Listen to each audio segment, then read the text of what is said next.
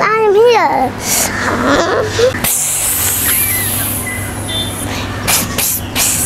अगर आप भी छिपकली और कॉकरोच से हो चुके हैं, बहुत ज़्यादा परेशान और सब कुछ यूज़ कर चुके हैं, लेकिन कुछ भी काम नहीं करता है तो ये वीडियो आपके लिए बहुत ज़्यादा यूज़फुल होने वाली है। लास्ट तक वीडियो को देखिएगा। So guys welcome back to my channel मैं हूँ प्रियंका और आज आपके साथ शेयर करने वाली हूँ दो रेमेडीज़ जो कि छिपकली और कॉकरोच के लिए मैंने अपने घर में यूज़ की हैं और बहुत ही ज़्यादा इफ़ेक्टिव है रियली तो मैंने सोचा आपके साथ ज़रूर शेयर करूँ। आप लोगों के लिए भी हेल्पफुल रहेगी। सो गाइज़ वीडियो शुरू करने से पहले एक रिक्वेस्ट आपसे करना चाहूँगी। अगर चैनल पर नए हैं तो सब्सक्राइब कर लीजिए इस चैनल को ऐसे इन्फॉर्मेटिव वीडियोज़ के लिए और उसके पास के बेल आइकन को ज़रूर प्रेस कर दीजिएगा ताकि आपको सारे नोटिफिकेशन मिलते रहें, जो भी वीडियो मैं अपलोड करूँ उसके।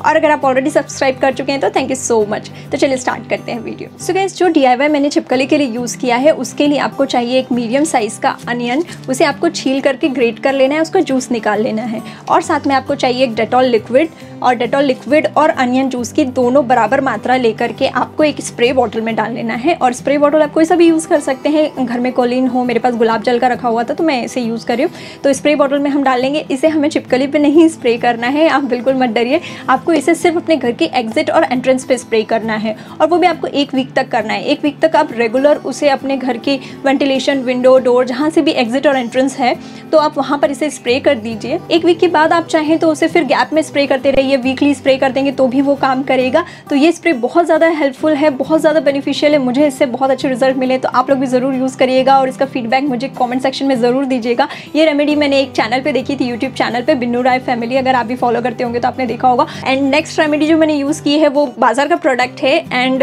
वो मैंने डीमार्ट से परचेज किया था। एंड रियली बहुत ज़्यादा इफ़ेक्टिव है। कॉकरोच के लिए मैं इतने सारे स्प्रे बॉटल्स यूज़ कर चुकी थी, लेकिन कोई भी मतलब नहीं निकल स्प्रे बॉटल खत्म हो जाते हैं और उससे पहले हमारे कॉकरोच फिर से आ जाते हैं। और वो स्प्रे भी आपको रोज रोज करना पड़ता है वो एंड स्प्रे बॉटल्स तो बिल्कुल भी सेफ़ नहीं है। अगर आपके घर में बच्चे हैं तो काफ़ी सारे हेल्थ इश्यूज़ भी हो सकते हैं और जब उसे आप स्प्रे करते तो आपके लिए भी बिल्कुल सेफ़ नहीं है। आप उसे इनहेल करेंगे तो आपको एलर्जी भी कर सकता है। बट ये इंजेक्शन बहुत ज़्यादा इफ़ेक्टिव लगा है मुझे। इससे आपको कोई फ्यूम्स नहीं आएँगे, कुछ भी प्रॉब्लम नहीं होगी।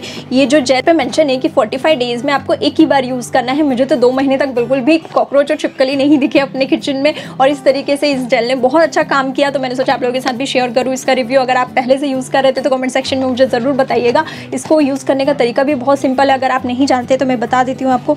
इस तरीके का इसके साथ इंजेक्शन आता है और इस पर एक कैप रहती है। तो ये कैप को आपको ओपन करना है। एंड ये बिल्कुल जैसे इंजेक्शन हमारा होता है, उसी तरीके से इसको आपको इसे प्रेस करना है। एंड ये जो देख रहे हैं आप, ये एक डोज है। इस एक डोज को आपको एक पॉइंट पे स्टिक करना है। उसके बाद ढाई तीन इंच की गैप में आप फिर से एक डोज लगा देंगे। इस तरीके से आपकी वॉल की जो एजेस है, चारों तरफ़ जो किचन की वॉल की जो चार एजेस होती हैं, चारों कोने में मैंने इस तरीके से स्टिक कर दिया है। इतनी हाइट पे कि बच्चों का हाथ ना जाए सेफ़ तरीके से आप इसे यूज़ करिए। तो ये दो रेमेडीज़ मेरे लिए बहुत ज़्यादा यूज़फुल रही तो इसलिए मैंने सोचा मैं आप लोगों के साथ शेयर करती हूँ। अगर आप लोग इससे भी ईजी कोई तरीका यूज़ करते हैं तो ज़रूर कमेंट सेक्शन में मुझे बताइएगा। और अगर वीडियो पसंद आया तो इसे लाइक और शेयर करिएगा. Thanks for watching see you soon in the next video till then take care bye